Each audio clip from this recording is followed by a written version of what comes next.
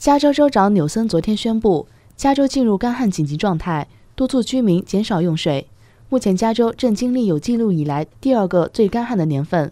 州长办公室说，加州正在经历19世纪末以来最严重的干旱。纽森早在七月就要求居民和企业自愿减少百分之十五的用水量。据加州水资源控制委员会报告，截至八月，加州的城市用水量减少了百分之五。纽森在一份声明中说，加州人必须加倍努力。尽一切可能的方式节约用水，通过大量投资和紧急行动，加州正在采取行动保护社区、企业和生态系统免受干旱紧急情况的直接影响，同时建立长期的水复原理，帮助加州应对气候变化使干旱更加普遍和更加严重的挑战。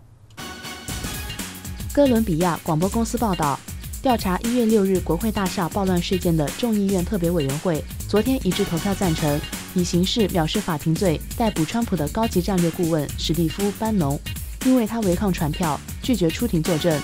班农上周被命令出席委员会听证会，但他的律师表示，按照时任总统川普法律团队的指示，班农拒绝提供出庭作证或提供相关证据的文件。众议院特别委员会十八日晚上建议以刑事藐视法庭罪逮捕他，并于十九日一致投票赞成的结果，决定起诉班农。德州昨天发生一起飞机坠毁事故，机上二十一人全部生还，其中两人受轻伤。据联邦航空局发布的消息，昨天上午十点三十分左右，一架麦道 D 八七型飞机从德州休斯顿行政机场起飞后不久，撞上一根电线，随后坠毁在一片田野。机上十八名乘客和三名机组人员安全撤离，仅两人受轻伤。失事飞机坠毁后起火燃烧，几乎全部焚毁，救援人员用了一个多小时才将火扑灭。目前还不清楚事故发生的具体原因，国家运输安全委员会正在对这起事故展开调查。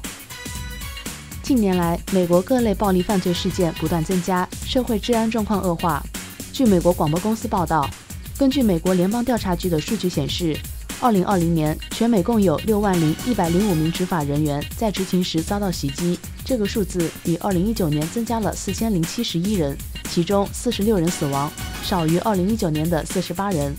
报道说，大多数袭击执法人员的事件发生在他们接到报警电话后，其中包括家庭争吵、酒吧斗殴等。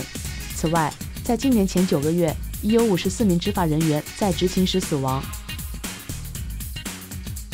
据加拿大广播公司报道，加拿大温哥华沿海卫生局昨晚宣布冻结一家养老院的资产和运营。近一年来，这家养老院内至少有百分之八十七的老人感染新冠病毒，其中四十一人染疫身亡。而华人是这家养老院的主要住户。据报道，这家养老院位于加拿大温哥华东部。1987年起由一家慈善机构运营。去年11月中旬，养老院爆发新冠疫情，十周之内87%的住户感染新冠，36%的住户染疫身亡。